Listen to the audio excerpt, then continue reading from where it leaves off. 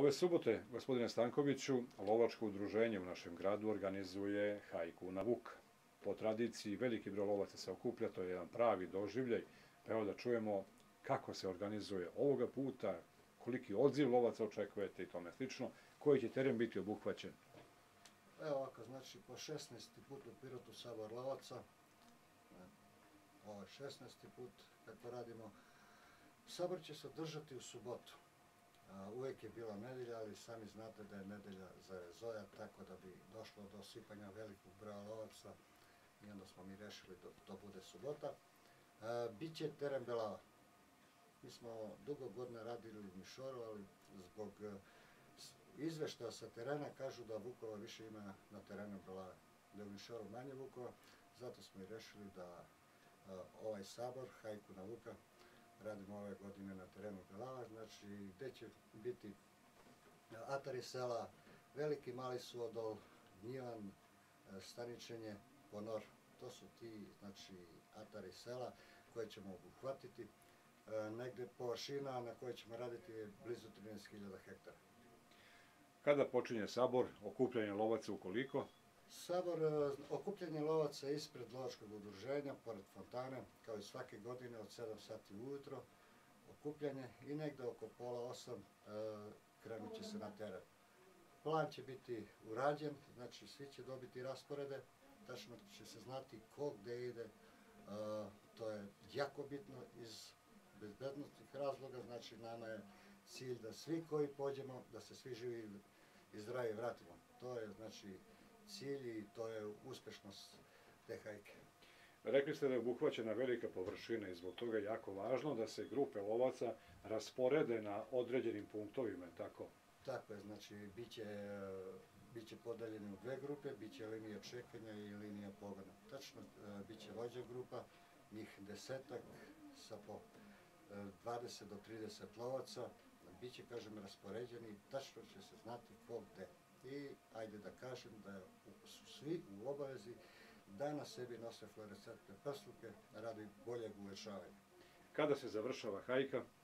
Pa mi planiramo negde oko 12 sati da to već bude gotovo, znači da završimo hajku i onda krećemo kao i svake godine u restoran da, se, da nastavimo dalje druženje. Znači jedno druženje u restoranu? Tako, tako, tako kao i svake godine.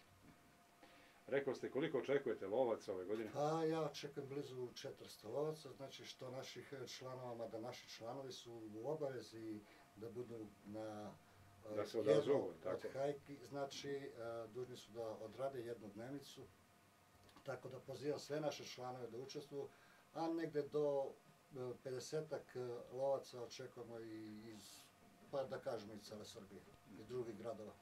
Prema vašim podacima i prema onome što se na terenu da videti, da li imate neku sliku o tome koliko ima recimo predatora ovde, konkretno vuka, da li je on na neki način možda namnožen, prenamnožen ili ne? E, nije prenamnožen, ali e, zadnjih godinu do dve imamo znači povećanje brojnosti vuka, što je najopasnije, e, došlo je do povećanja šakala.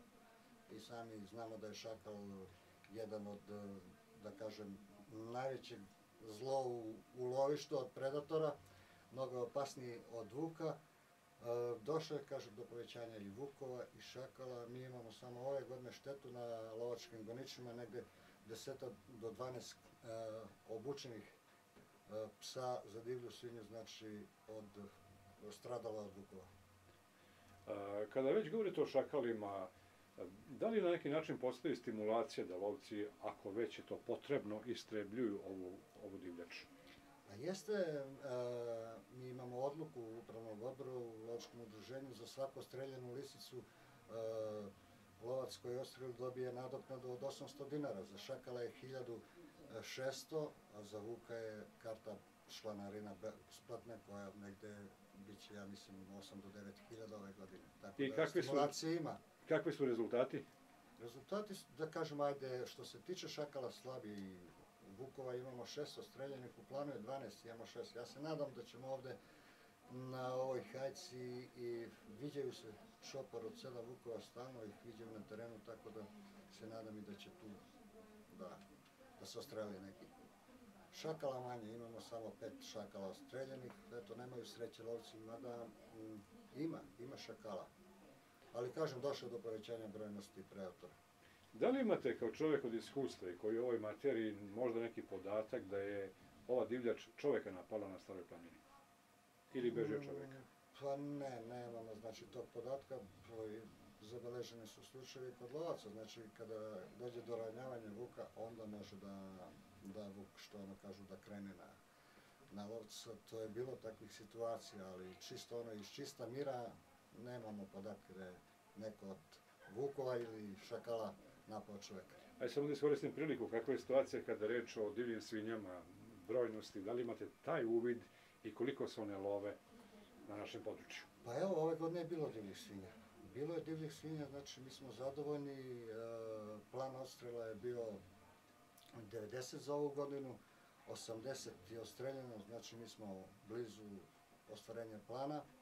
E, Prihrana je u toku, znači radimo i dalje na prihranu i zadovoljni smo što se tiče divljih svinja. Mada nije bilo, e, najbitnije da nije bilo dosta štete na usevima prošle godine.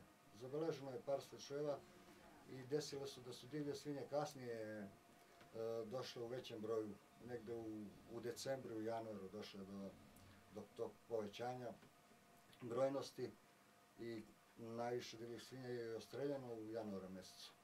Da li u onom ograđenom prostoru, u Gateru, tako, kod Nišora, imate sada divlje svinje ili ne? Ne, trenutno nemamo, ali, ali e, smo u planu i bit će.